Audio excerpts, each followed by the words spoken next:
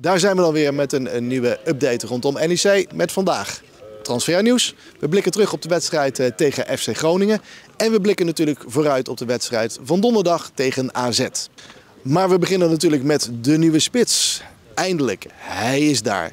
Dinsdagmiddag werd bekend dat Dimata uh, NEC per direct komt versterken.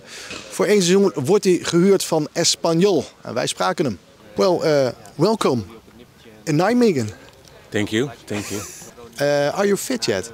Yeah. Yeah. Yeah. So you can play.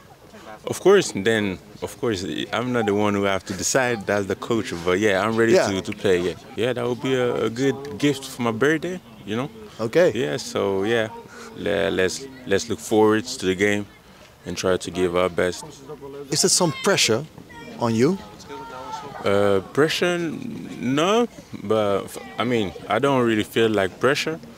But what I want to do is just playing, enjoying, and help my teammates with my, my qualities, my talent, and yeah, my word too to score. So yeah, if I score, everybody's happy, and I'm the first one to be happy. Yeah. Oké. Ja, natuurlijk hebben we ook eh, trainer Rogier Meijer even gevraagd naar eh, wat nou die, die Mata zo speciaal maakt. Heeft fysieke kracht, heeft, eh, heeft power, heeft snelheid. Ehm, is denk ik in en rond de 16 goed. En heeft ook op een hoger niveau laten zien dat hij, eh, dat hij de kwaliteit heeft. Nou goed, dat is voor ons een goede toevoeging. En dan nog eventjes terug naar afgelopen vrijdag. Eh NEC speelde thuis in de Goffert gelijk tegen FC Groningen. Met een laat doelpunt van Sissoko. We spraken hem gelijk na de wedstrijd.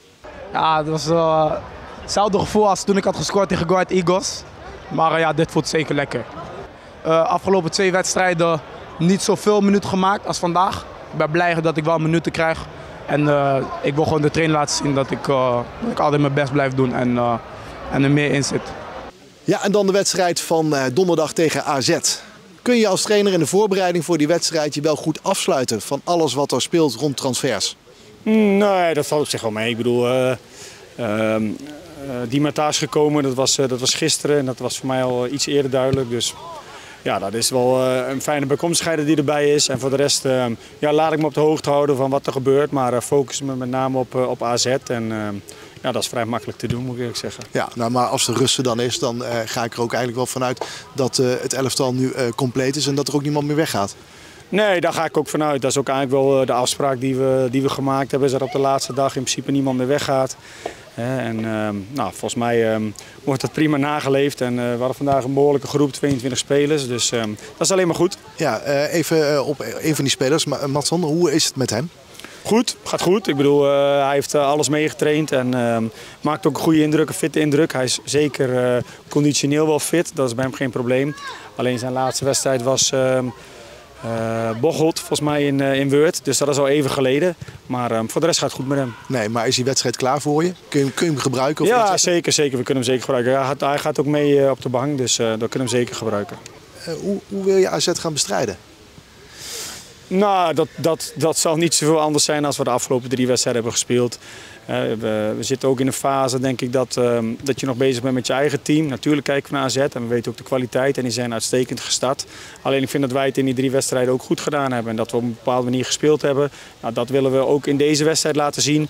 Ja, soms zul je ook een aanpassing moeten doen op het moment dat dingen niet lukken. En eh, ja, dat, dat, zullen we, dat zullen we morgen wel zien. Ja, en eh, op het moment dat we dit opnemen is het eh, woensdagmiddag. Dus de transfermarkt is nog open, dus er kan nog wel wat eh, gebeuren.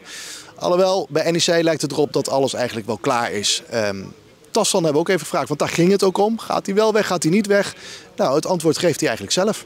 Kunnen we gewoon zeggen van, eh, je blijft gewoon hier? Eh, ja, daar kan je wel voor uitgaan, ja. Hey, eh, donderdag dan AZ, want dan eh, gaan we er gewoon vanuit dat jij daar eh, meegaat en gaat spelen natuurlijk. Waar liggen de kansen denk je voor je? Ehm, ja, ik denk in de omschakeling, wanneer zij de bal verliezen, dat wij ja, gevaarlijk kunnen zijn. Met, als we snel spelen, als we snel vooruit spelen, denk ik de eerste bal vooruit en veel diepte maken, dat, dat we hun pijn kunnen doen. Ja, en dan op de valreep heeft NEC toch nog een nieuwe speler toegevoegd aan de selectie. Al trainde die al wel in de voorbereiding mee. Het gaat om verdediger Terry Sagnes. Oude bekende, hij maakte in 2018 zijn debuut bij NEC tegen FC Cambuur. In 2021 vertrok hij naar Slovenië. Na dat seizoen kreeg hij daar geen contract. Kwam hij al terug naar Nijmegen om mee te trainen met het elftal van Meijer. Nu is hij dus definitief toegevoegd aan de selectie van NEC. En dit was hem weer, de update van uh, deze week. Donderdag wordt er dus gespeeld. De wedstrijd wordt weer live op de radio uitgezonden vanaf 8 uur. En vrijdag zijn we er weer met een nieuwe update. Tot dan.